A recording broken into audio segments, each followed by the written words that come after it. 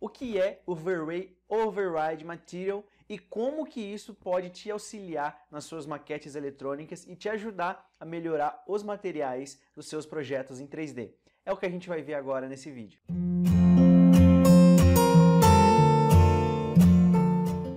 Só que antes de mais nada, eu quero te dizer que tem um kit na descrição do vídeo para você poder fazer o download. Nesse kit você vai encontrar apostilas sobre o V-Ray, você vai encontrar o nosso estúdio configurado para V-Ray, para você configurar os seus materiais, e você também vai encontrar uma aula com as novidades do V-Ray, combinado? Então é só você acessar. E eu quero te pedir também que se você gostar do vídeo gostar do nosso canal, se inscreva no nosso canal, clique no sininho para ativar as notificações, deixe o seu like também porque isso ajuda bastante a gente com o nosso canal. Então, vamos aqui para a tela do computador.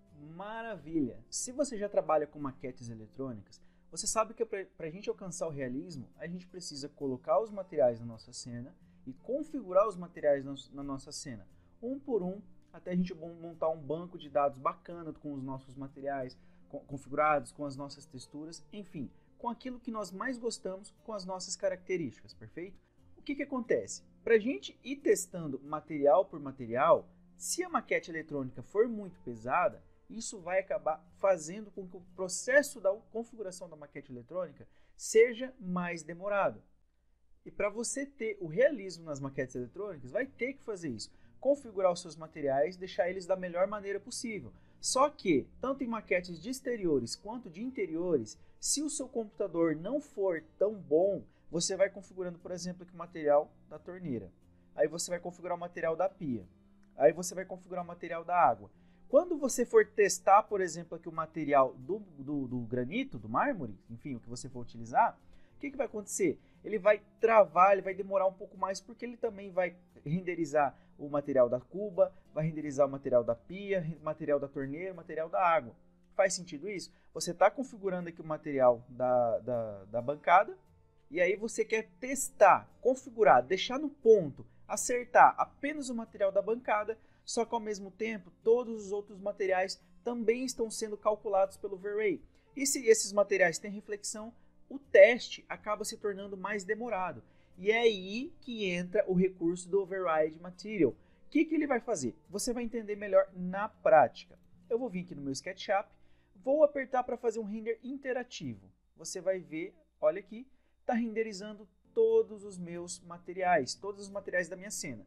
Eu estou usando de exemplo aqui uma cena mais leve, porque a gente está gravando a tela aqui e a aula tem que ficar muito bacana. Então, o que acontece? O Overray está renderizando aqui todos os materiais na cena. Mas, Leandro, está pesado, eu queria configurar apenas o meu chão mas ele está mostrando também um reflexo da minha parede, está mostrando um reflexo da minha madeira. Eu quero, eu quero ver apenas o material do meu, da, da, da minha parede aqui, por exemplo, essa parede de madeira, esse painel. O que, que a gente faz? Eu vou abrir o V-Ray Asset Editor, estou usando o V-Ray 3.6, vou vir aqui na engrenagemzinha, perfeito. Agora eu vou vir aqui em material override, eu vou ligar ele. Vamos ver aqui, ó, o que, que aconteceu. Sumiu todas as texturas da minha cena, só estão as luzes a luz do sol que está vindo de lá de fora e as luzes IES. Se eu desligar a luz IES aqui, olha, está vindo apenas a luz de lá de fora e olha aqui como que está tá tudo branco. Por quê? O que é material override? É substituir o material.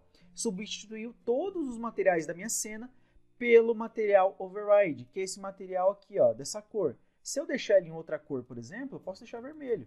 Só que não faz sentido. A gente não vai conseguir acertar os nossos materiais assim. Por isso que a cor a gente deixa mais ou menos assim, essa cor padrão, perfeito? Então você já entendeu o que é o material override, ele vai substituir todos os materiais da cena por um material em questão, e você também já entendeu como que liga o material override. Mas Leandro, eu não estou visualizando aqui o material do meu painel de madeira, eu queria configurar apenas ele, e eu não queria que o reflexo de outros materiais interferisse no tempo do meu teste. O que, que a gente vai fazer então? Eu vou vir aqui no meu, na minha aba de materiais, perfeito, Vou pesquisar aqui onde que tá, qual material que eu quero mexer agora. Ah, eu quero mexer na madeira. Metais, parede, parede escura. Não, nós temos aqui então é a madeira, é essa daqui. O que, que a gente faz então? A gente abre, deixa eu trazer um pouquinho mais para cá, essa abinha do Material Options e nós vamos desabilitar essa opção aqui, ó, Can Be Overriding. E olha lá, a madeira, aonde está sendo utilizado esse material madeira, ele não foi substituído, ou seja, ele não permitiu substituir o material Assim, você consegue mexer, por exemplo, aqui ó, na reflexão, eu vou aumentar o glossiness dela, vou deixar, por exemplo, em 1. Estou testando só ela, tá vendo? Ó, já estou já tô com um teste muito mais rápido. Vou aumentar a reflexão dela. Olha, ela está bem mais reflexiva. Ah, não, o glossiness não, ficou legal, vou deixar com 0,6. Tá vendo como que é muito mais rápido o seu teste? Leandro, beleza, a minha madeira tá ok. Agora eu quero mexer, na, é, deixa eu ver aqui, o material da parede escura. Então, beleza. O que, que é interessante a gente fazer? Vou voltar aqui no Material Options da madeira e vou esconder ele mais uma vez, ó, Cambio Overriding. Perfeito. Agora eu vou vir aqui na parede escura, mais uma vez no Material Options e vou desmarcar aqui o Cambio Overriding. Agora a minha madeira escura está aparecendo. Leandro, eu quero mudar a cor da minha madeira escura. Tudo bem, a gente vem aqui no Diffuse, vou pôr, por exemplo, aqui um azul, vou puxar para esse azul, maravilha. A madeira escura está por trás do painel e eu acho que por trás da câmera. Deixa eu fazer o seguinte, eu vou ligar mais uma vez o câmbio overriding, vamos trabalhar com parede normal. Vou desligar o câmbio overriding, vou mudar a cor dela também para o azul. Maravilha. Agora sim, está vendo aqui onde está o material parede? Então, é muito mais rápido para a gente testar material por material, principalmente em, em, computadores mais lentos. Aí vem um grande macete, um grande, um grande ponto que muitas pessoas se esquecem. Às vezes as pessoas, ah, configurei o material, agora eu vou pôr para renderizar a cena final. As pessoas não esquecem de, as pessoas se esquecem de vir na engrenagemzinha e desmarcar o material override. Agora, desmarcando o material override, nenhum material vai ser substituído. Agora sim, é o render final, é o render para apresentação, é o render para o cliente, por exemplo. Aí você tem que vir aqui e desmarcar o material override, combinado?